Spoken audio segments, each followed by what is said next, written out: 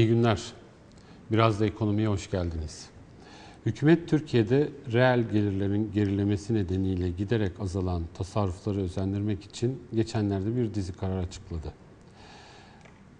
Kararlarda kararların ağırlığını zorunlu tasarrufları artırıcı önlemler oluşturuyor. Konut satışlarındaki vergiler artırılıyor ve KDV kolaylığı kaldırılıyor. Kira gelirlerinde vergi yükü artırılıyor.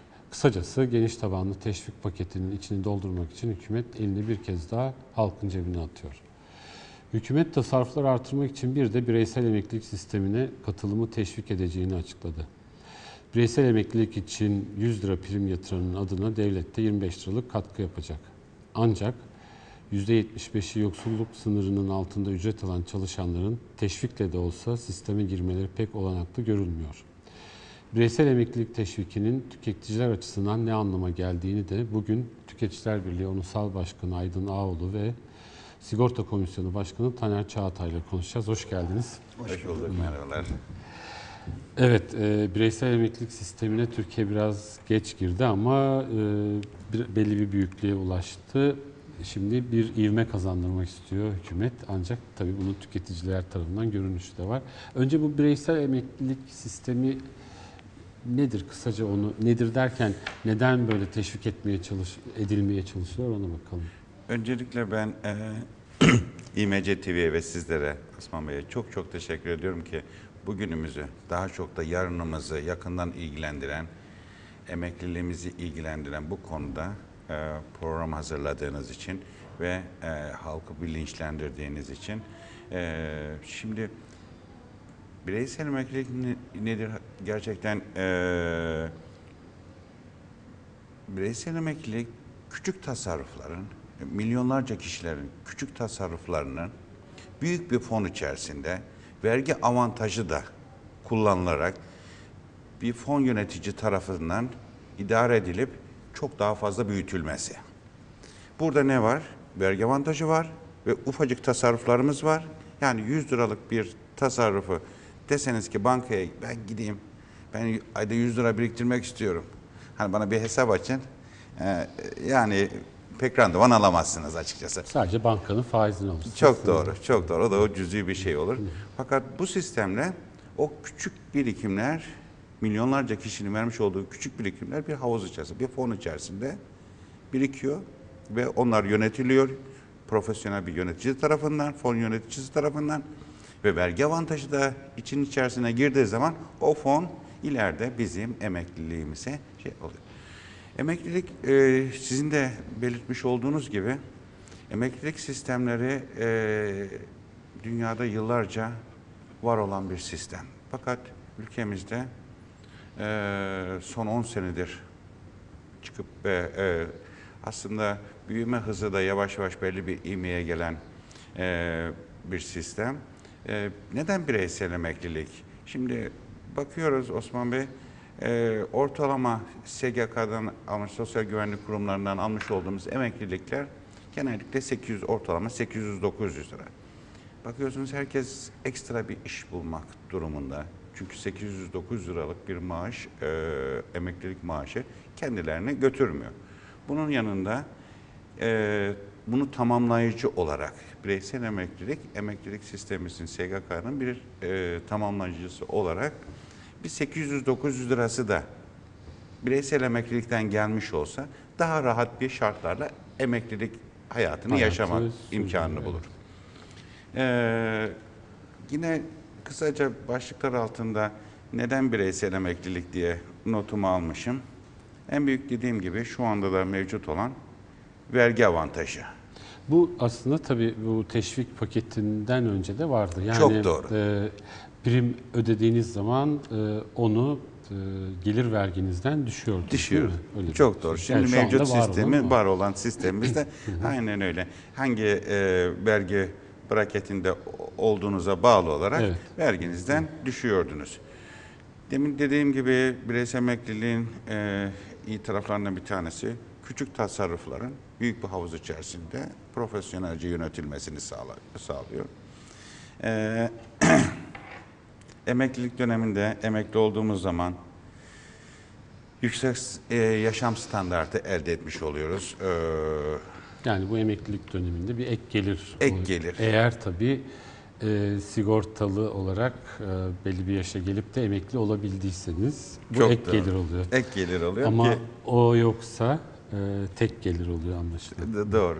Onun için de e, e, burada bireysel emekli de şimdi biliyorsunuz e, Türkiye'nin yaş ortalaması genç yavaş yavaş yaşlanmaya başlayan bir nüfus içerisindeyiz. E, şu anda emekli olanların emeklilik e, maaşlarını şu andaki mevcut çalışanlar ödüyor.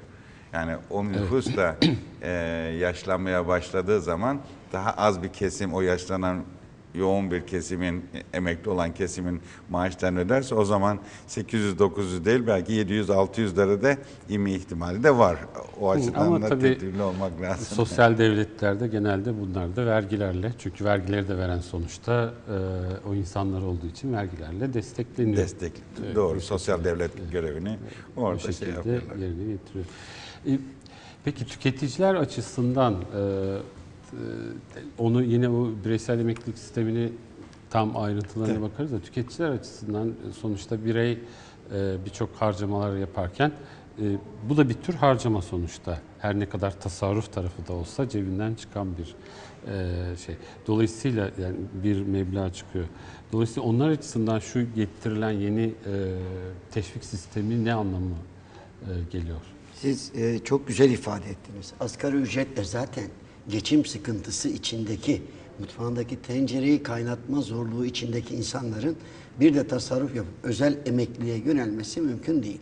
Ancak orta gelir düzeyi diyebileceğimiz e, belirli gelir düzeyinin üstündeki insanlar da e, ikinci bir gelirim olsun. Türkiye'deki e, sosyal güvenlik sisteminin sağladığı emeklilik geliri yeterli olmayabilir ileriki yıllarda düşüncesiyle buraya yöneliyorlar.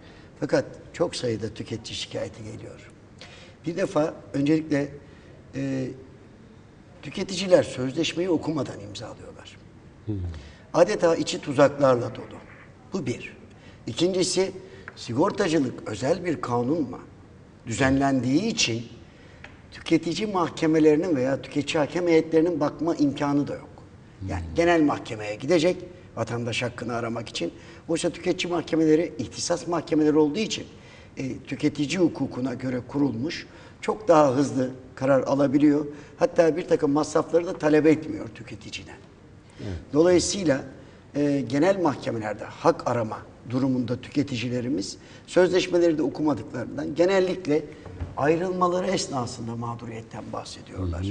Prim artışları neye göre belirleniyor? Okumuyorlar, bilmiyorlar. Yani birkaç sayfalık ne diyorsunuz onlara kloz mu sözleşme Evet, mi? En arkasına bir kloz imza atıyor, bir de öbürünü atıyor. Bir tanesini Paraf ediyor. veriyorlar, götürüp evde bir yere atıyor. Daha sonra da bulamıyor. İşte bu noktada tüketicilerin sigortacılık sektörüne bakışında kuşkular oluştu. Bunu kabul etmek lazım. Evet, Yani- bu tür şeyleri yaşadıkça. Tabii. e, Yani- yani aslında bir tür birikimlerini büyütmek üzere girdikleri yerde birikimlerin eridiğini görünce tabii hayal kırıklığına e, Evet. uğruyorlar. Mesela e, aradan diyor 3 yıl geçti. Ailevi olağanüstü şartlar yaşadım ve primi ödeyemez hale gelince ayrılmak istediğimi söyledim. Paramı hem gecikmeli hem de kesintili geri alabildim. Bu nasıl adalet? Bırakın nemasından vazgeçtim. Bir de kesinti yapıldı deniliyor. İşte bu noktada bizim tüketici örgütü olarak tüketicilerimize önerimiz lütfen bir gün önceden alın o sözleşme taslağını ve fırsat buldukça okuyun. Dikkatinizi çeken yerler varsa işaretleyin ve acentanıza bunu danışın. Değiştirilebiliyorsa değiştirin, değiştirilemiyor ise bunu başka acentadan, başka sigorta şirketinden deneyin. Zaten pek çok acente ve broker bir sigorta şirketine bağlı değil. Yani o ana sigorta şirketlerinden birkaç tanesinden ben mesela özel sağlık sigortası yaptırdığımda benim ajantam bana birkaç firmanın alternatifini sundu. Örneğin X dedi yüzde yüz katkı sağlayabiliyor. Primi şudur. Şu, şu, şu şartları var. Bu alternatifleri değerlendirmeden e, sigortacılık, bankacılık gibi güven müesseseleri olduğu için e, kör gözün parmağına der gibi e, acentelerle anlaşma imzalayan tüketiciler sigortacılığı hak etmediği kadar kötü bir yere doğru götürdüler. Hem zihinlerde hem kamuoyu nezdinde hepsi birer ayaklı gazete. Sigorta mı? Boş ver. Hasar oldu mu? Hiçbir şey alamazsın kardeşim. Gibi, Veyahut evet. yarı fiyatını zor alırsın. Ben işte başıma geldi, şu kadar ay uğraştım, hasarım şu. Geneli için sigorta. Bireysel emekliliğe gelince, bireysel emeklilikte de e, daha ilginç şeyler var. Şimdi genel sigortacılığın dışında bireysel emeklilikte tüketici bir tasarruf yapacağım. Bu tasarrufum nemalandırılacak. Böylelikle ileride de bana bir miktar bağış bağlanacak. Şimdi orada hem sigortalayan risk taşıyor hem sigortalanan bir ödeme riski içine giriyor. Evet bu aslında pazarlama sürecini bir konuşmak gerekiyor. O zaman tüketicilerin dikkat etmesi gereken noktaları aslında siz e, büyük ölçüde çektiniz ancak sigorta sektörü açısından nasıl? Yani pazarlama yapanların e, tarafından baktığımızda e, yeterince eğitebiliyorlar mı? Çünkü bu İşte bir ben aslında buraya bir buraya Evet. geliyordum. Çok güzel tespit. Yani burada vatandaş sigortacısına güveniyorsa, sigortacı da o güvene layık olarak açıklayıcı, eğitici ve sonuçlarını net olarak evrensel tüketici haklarının en başlarında yer alan bilgilenme hakkını tüketiciye sunar ise tüketici bilirse ki ben 5 yıldan önce ayrıldığımda param hem nemasından olurum hem şu kadar da zarara uğrarım. Ayrılma dilekçesi yazmadan önce bir daha düşünür. Başka alternatifler varsa onları değerlendirir. Ama bilmiyor. Veriyor dilekçesini ve bir sürprizle karşılaşıyor. Karşı- İşte bu noktada biz tüketiciler sade bireyler olarak güven müessesesi olması gereken ve öyle olmasını arzu ettiğimiz sigortacılık sektörünün buna çözüm getirici, bilgilendirici yaklaşımlar sergilemesini bekliyoruz ki devletin ilan ettiği bu tedbirle birlikte e, paralel bireysel sigortacılık da gelişsin. Dolayısıyla insanlarımızın da hayat ve yaşam kalitesi daha bir yükselsin. Evet, evet. Ya bu sonuçta bir tasarruf biçimi. Evet, Ee, Yani bir kaza sigortası gibi değil. Kazadan değil. Yani o- orada bir kaza olur Bir vesaire. risk Onun var, ka- risk vardır. karşılaması. Ee, burada öyle bir e, risk değil. Yok, E, risk tamamen yok. birikime dönük. Birikime e, dönük. e, Peki vatandaş 120 yaşına kadar yaşarsa e, O şirketin riski. risk var mı? Güzel bir şey dediniz aslında. Ben hep vatandaşın iyiliğini mortalite tablosuna baktığımız zaman artık Türkiye'de de e, 70'i yaşam geçti. standartları artıyor ve artık yani insanlar daha uzun dönemlerde yaşıyorlar. Onun için de daha bir takım tedbirleri daha gençken almalarında yarar görüyoruz. Ha, Sigortacılar da tedbir alsın. Yani 120 yaşına kadar yaşayacaklar, sigara içmeyecekler, kötü alışkanlık edinmeyecekler, GDO'lu yiyeceklerden uzak duracaklar. Osman Bey, e, Aydın Bey'in de belirtmiş olduğu gibi aslında biz bizim Tüketiciler Birliği'nin sloganı zaten bir, herkesin bildiği gibi bilgilenme hakkı evrensel tüketici hakkıdır. Yani tüketici ne aldığını bilmek durumundadır.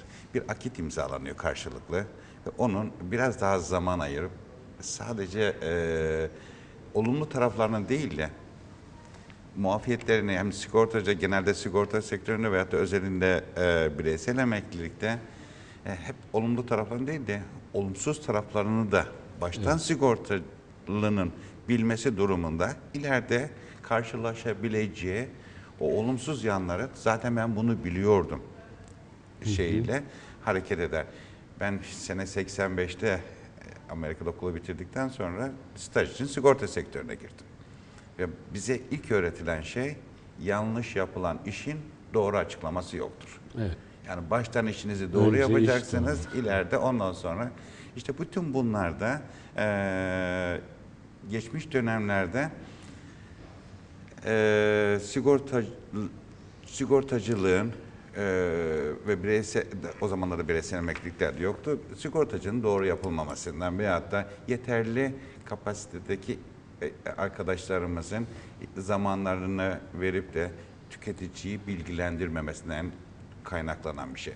Şimdi biliyorsunuz sene e, 90'larında Başladı. e, faiz oranları yüzde yüz yirmilerde filanken e, o zamanlarda bireysel emeklilik yoktu. Onun yerine bireysel emeklilik gibi e, birikimli hayat satıyorlardı. Ama bunu satarlarken gerçekten profesyonel arkadaşlar e, pek işin içerisinde değildi. Ben duyuyorum o zamanlar ben Amerika'daydım. E, kap kaçak satar gibi bir şey birikimli hayat satıyorlarmış. Çıkartılan evet. tablolar muazzam 10 sene sonra ama bunun e, o anki e, faiz oranlarına göre hesaplandığını eğer faiz oranları düşerse bu paralar şu şekilde şey diyecek bunun e, işte bir takım kesintileri var.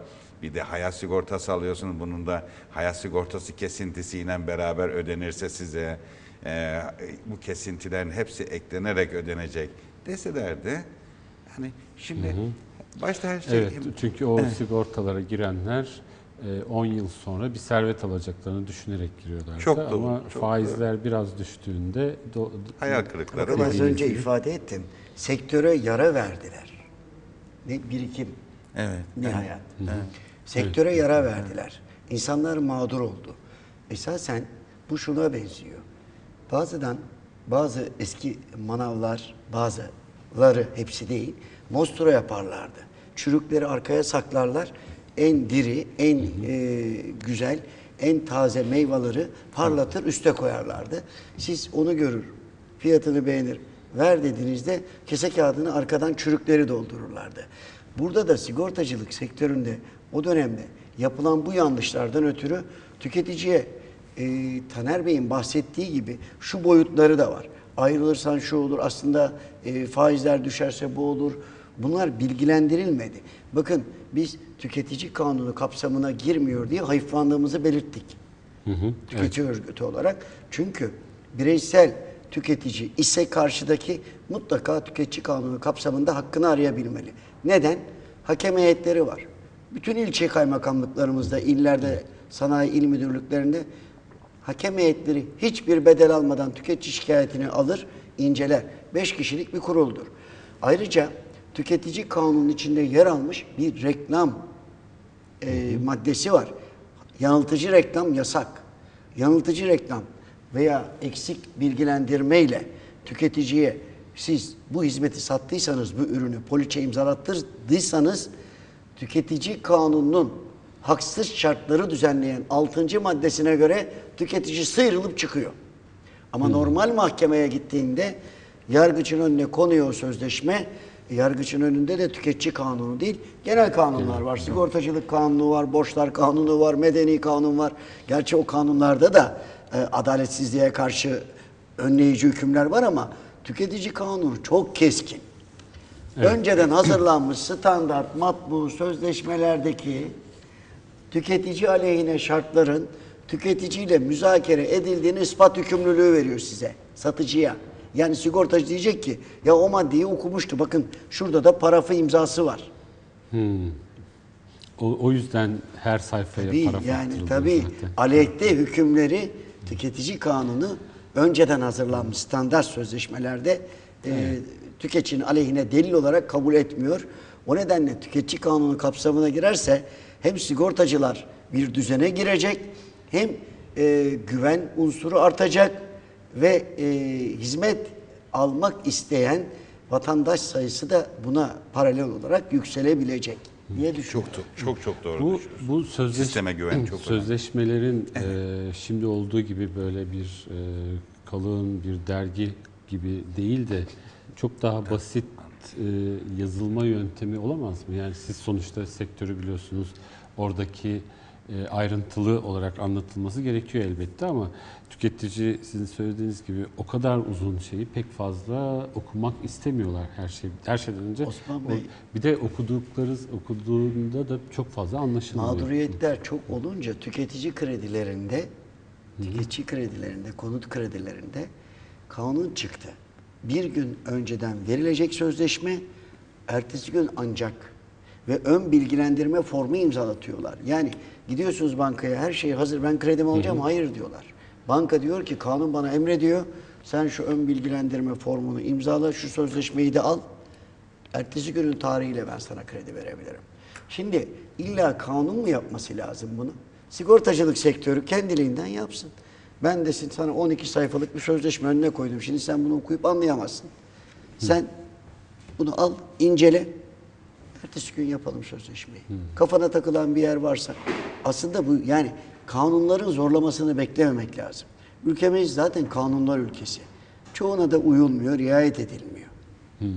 Aslında e, herhalde onun çok daha e, kısa yoldan Kısa yoldan. gösterme e, olanağı vardır. Ya da en az e, biraz önce siz söylüyordunuz bunu pazarlayacak olan birimlerin e, biraz daha Anlatması, doğrudan izah anlatması. etmesi. E, hepsi birbirinin bütünleyici. Bakıyorum mesela e, çünkü yazılı bir şey sizi koruyor. O yüzden de yazılı şeyin içerisinde her iki tarafı da koruyor. Sadece tüketici değil, e, bir yerde diğer tarafı da koruyor. O yüzden e, o yazılı şeylerin mümkünse maksimum düzeyde özellikle istisna bölümleri, muafiyet bölümleri veyahut da ileride e, art, çıkabilecek eksil yönleriyle izah edilirse baştan sigorta, sigortalı veyahut da e, bireysel emekliliğe katılacak kişiler bunu baştan belirlerse şey olur e, bil- bilgilendirilmiş olurlar ki hüsrana uğramazlar, sürpriz olmaz. Ben bunun bu şekilde olacağını biliyordum gibi. Şimdi e, bu şeylerde minimize etmeye çalışıyorlar o şeyleri. Fakat mecburen bazı şeylerin mutlaka o şeyin içerisinde yazılı bir şekilde Bu bulundurulması bu gerekiyor. noktada bir açıklama getirmek istiyorum. Tüketici kanununa göre tüketiciyle yapılacak tüm sözleşmeler 12 punto, en az 12 punto koyu siyah harfle yazılmak zorunda. Yani silik, okunması zor, uçuk mavi bir yazı beyaz kağıdın Sekiz üstünde punto değil. e, karınca duası gibi yasak. Onun için tüketici kanunu kap. Bakın tüketici kanununda gene yer alan kapıdan satışlarla ilgili bir hüküm var. Diyor ki kapıdan satışlarla ilgili sözleşmede tüketicinin 7 gün zarfında koşulsuz cayabileceğine dair ibare en az 12 16 punto olacak. Şöyle bir harf O ve var. birinci sayfada olacak sözleşmenin. İlk sayfasında, ana sayfasında. Göze çarpacak. Göze çarpacak. Şimdi burada kanun, tüketici kanunu koruyor. Sigortacılık işlemlerinde tüketici kanunu kapsamından çıkıyor. Genel mahkemelerin, genel kanunların, başta sigortacılık kanunu olmak üzere e, korumasına kalıyor tüketici. Ben de buradan sesleniyorum. Sigortacılık gerçekten güven müessesesi. Sigortacılarımız tüketici kanununa bir göz atsınlar ve uygulamalarını gerçekten müşteri memnuniyeti adına. Yani sözde e, değil. Neden sözde diyorum? Açıyorsunuz bir müşteri hizmetlerini. Bankalar, iletişim sektörü kanunla kendilerine emredilmiş olduğu halde müşteri memnuniyeti adına kayıt yapıyoruz diyor. Müşteri memnuniyeti değil ki kanun size emretti. Üstelik en az bir yılda bu kayıtları saklayacaksınız ki bir ihtilaf, bir sıkıntı olduğunda tüketici onları delil olarak sizden isteyebildirsin, istetebilsin. Bakın sigortacılık sektöründen de beklentimiz bu mağduriyetleri ortadan kaldırıp gerçekten müşteri memnuniyeti sağlayın.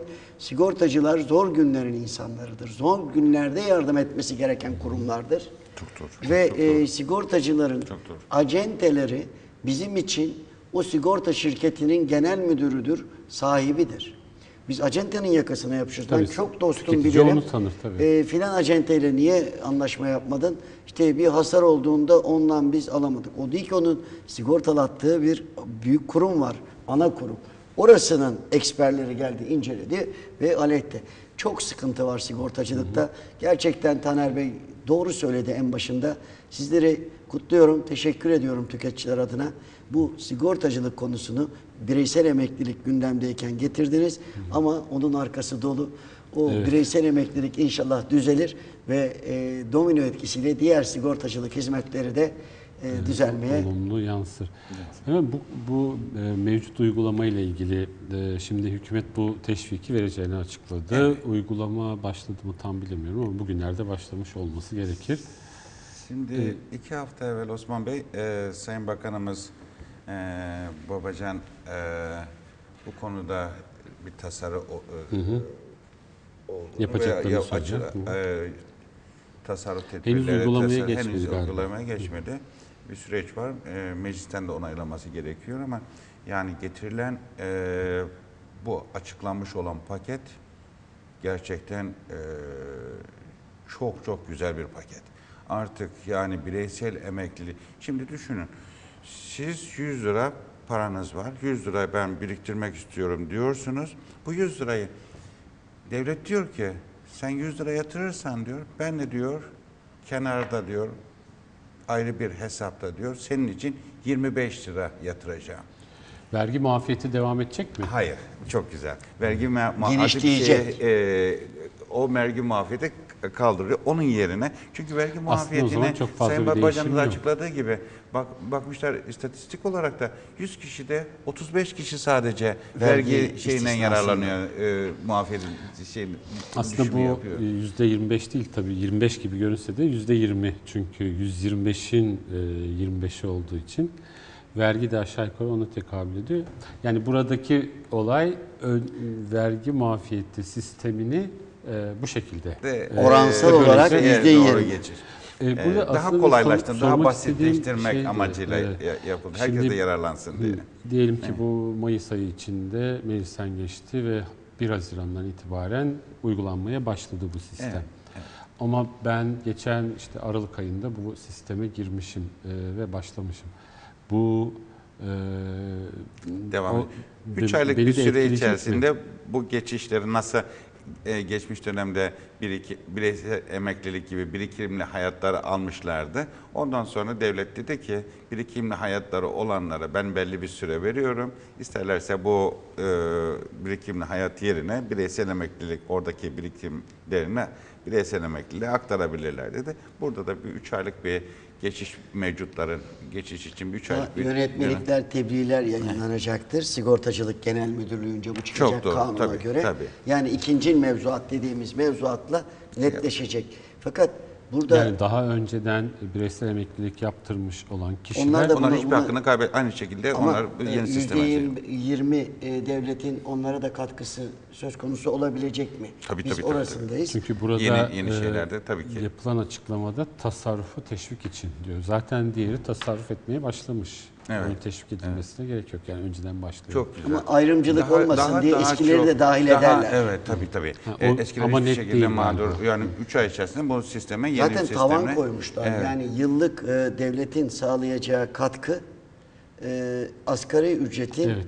e, dörtte birini geçemez. Geçim, yani E, e, üç- e, Aydın Bey çok güzel bir konuya değindi.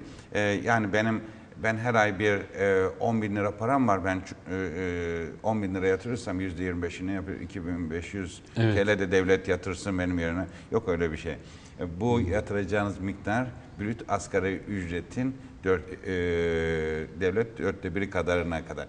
Şimdi aylık olarak düşünürsek aylık bir e, Ya ay- işçilik ay- 887 Evet, lira. o civar. Onun yüzde 25'i devlet yani 200 onun 887'nin 120 Aylık 20 lira gibi bir katkı 222 lira gibi Yani bir 80 lira vatandaş yatırdığında 20 lira devlet yatıracak. Ancak sistemden ayrılan vatandaş devletin yatırdığı o katkıdan istifade edemeyecek.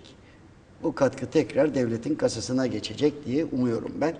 Ee, yani yani sistemden sistemden zamanından önce, emekliliğinden önce ayrılan vatandaşlar bu katkıdan da mahrum kalacakları için sistemden ayrılmayı da önleyici bir tedbir bu.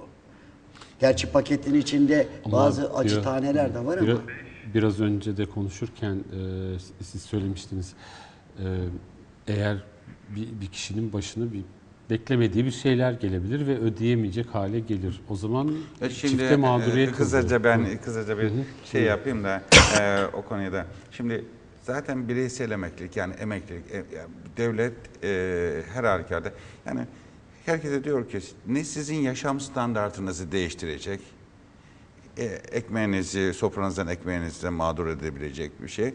Ama sistematik olarak her ay düzenli olarak ne kadarlık bir tasarruf yapabilirsin. Bu da emeklilik olarak geçtiği için uzun dönemli.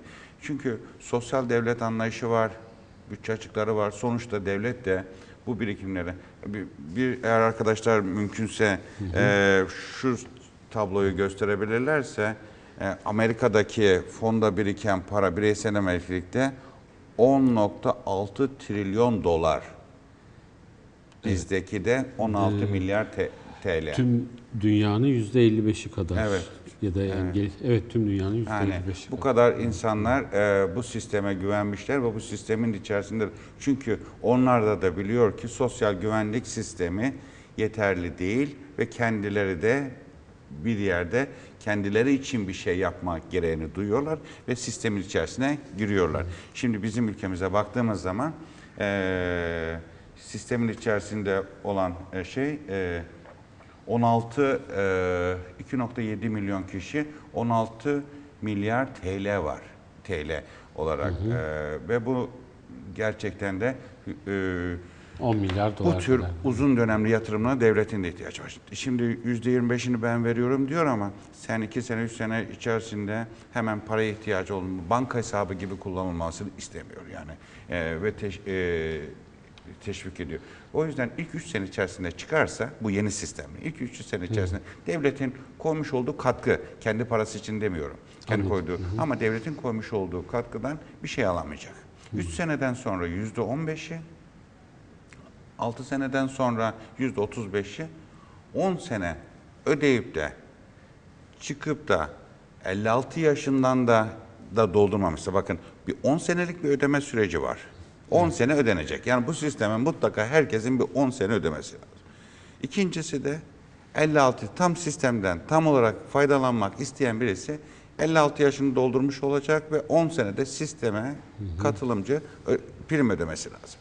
Ee, katkı payında bulunması lazım. Ve ondan sonra e, bu tür cezalara hiç şey yapmadan devlet de diyor ki 10 seneyi doldurup da e, 56 yaşını doldurmadıysanız benim birikimli o kendi e, tarafta biriktirdiğinin yüzde 60'ını ha 56 yaşına kadar bekleyip de 10 sene doldurmuşsan bunun hepsini alın diyor. Yani bu da hakikaten artık biz bazen Amerika'dayken bir harekete geçmeyen insanlara şey derdik ya bütün ışıkların yeşil olmasını mı bekliyorsunuz derdik. Hakikaten artık bütün ışıklar yeşil oldu. olabilir. Herkesin ben bireysel emeklilik ya 100 liram var.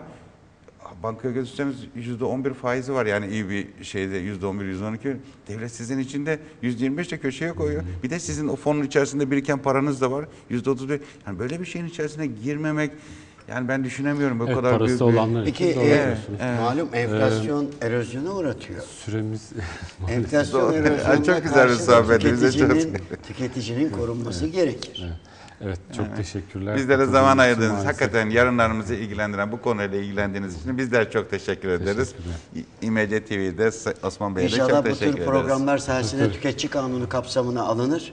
Tüketici hakem heyetleri ve tüketici mahkemeleri ihtilafları değerlendirir. Doğrudan Amerika'daki oranla Türkiye'deki oran arasındaki büyük farkın temel sebebi Amerika'da bir tüketici hak ihlaline uğradığında milyonlarca dolar tazminat alabiliyor. Bizim ülkemizde henüz bu yerleşmediği için tazminat müessesesi yerleşmediği için tüketicilerin mücadele azmi de kırılıyor. Evet, Ve e, satıcıların, herhalde. sağlayıcıların da tüketicine tüketicilere karşı hak ihlali yapma cüretleri artabiliyor. Tabii, doğru. Çok teşekkürler. Biz çok teşekkür ederiz. Sağ olun. Evet bugün bireysel emeklilik ve tüketici açısından anlamını Tüketiciler Birliği Onursal Başkanı Aydın Ağoğlu ve Sigorta Komisyonu Başkanı Taner Çağatay'la konuştuk. Programı Tracy Chapman'dan Talking About a Revolution'la kapatıyoruz. Chapman, işsizlik kuyruklarında ömür tüketenler bir gün ayağa kalkacaklar ve haklarını alacaklar diyor. Haftaya görüşmek üzere. Don't you know? Talking about a revolution. It sounds like a whisper. Don't you know? Talking about a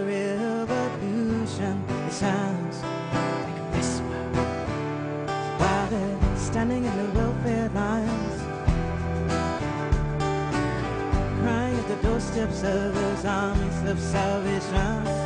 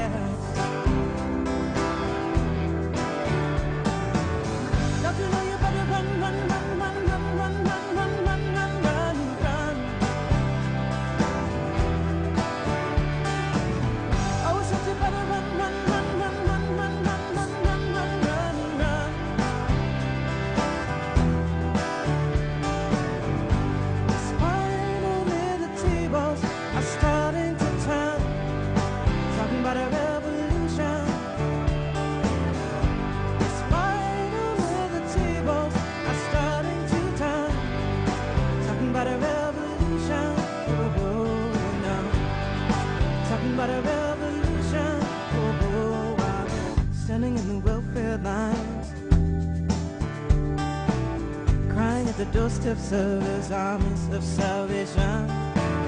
Wasting time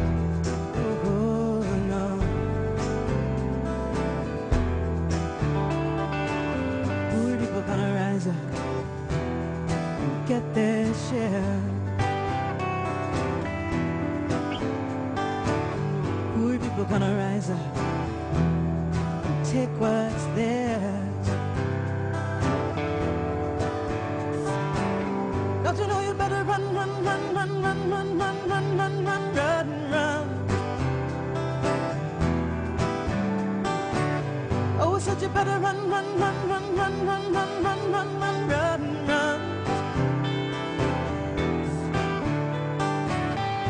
It's finally the tables are starting to turn.